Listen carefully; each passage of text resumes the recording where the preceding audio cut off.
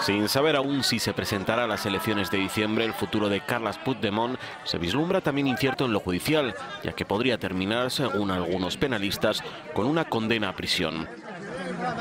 Ante esa posibilidad, el secretario de Estado belga de Migración y Asilo, el flamenco Theo Franken, ha sugerido que su país podría acoger a Puigdemont si optara por el exilio. No es algo descabellado si examina la situación en este momento, la represión de Madrid, las condenas de prisión que se manejan. Entonces, la pregunta es obviamente si alguien así tiene la posibilidad de un juicio justo. Una oferta que rápidamente ha sido desechada por el primer ministro belga. Charles Michel, a través de un comunicado a la agencia belga, ha pedido a Franken que no eche leña al fuego. La idea tampoco parece convencer a los expertos en derecho europeo, que aseguran que el derecho de asilo no es admisible entre los miembros de la Unión, ya que son países seguros que no persiguen a sus ciudadanos.